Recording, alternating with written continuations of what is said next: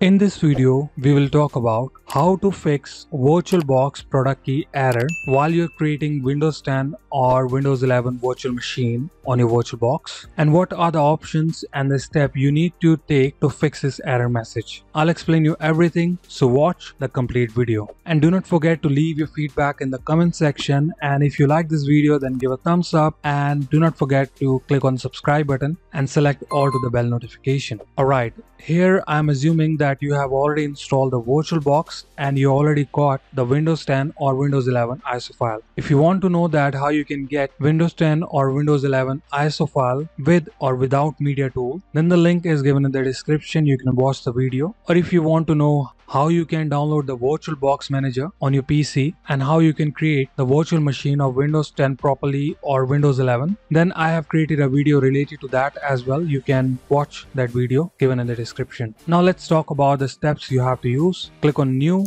and here you need to give the name to your virtual machine. Let's say it's Windows 10 let's keep the common name. Copy this folder location. I have already copied this location here. And you need to add your ISO file. I have I think uh, Windows 10 ISO file in here. And you need to select your edition here. Uh, let's select Windows 10 Pro and click on next set up the username. I'm giving the same username. For now i'm giving Etechniz my channel name and give the password. You can set up this password later and here you need to make sure that you do not leave any space. Click on next and set up the base ram to your virtual machine. I'm setting up the processor up to 2 or you can give a more. Make sure you're lower than the green mark. Do not go beyond that. So let's set up two core processor and click on next. And here you can see the hard drive. Let's keep the same one. Click on next. Here you can see the location folder. Click on finish it's powering up the VM machine right now and let it be power up and then we'll see that error message and then I'll show you what other option you need to choose to fix this error message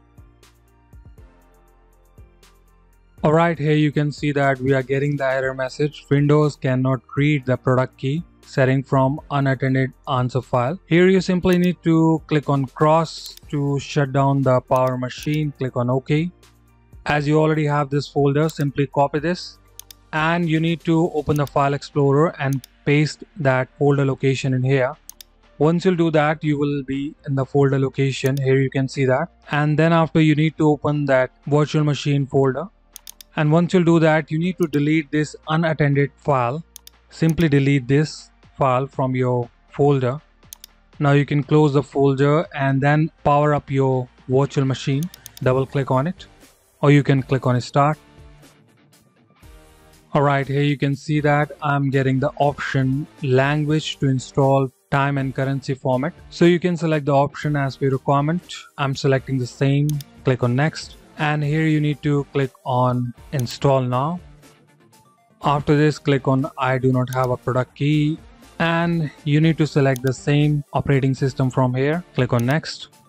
Click on I accept and click on next. You can select the option as per requirement. I'm selecting this one. Install Windows only advanced and leave the option as it is.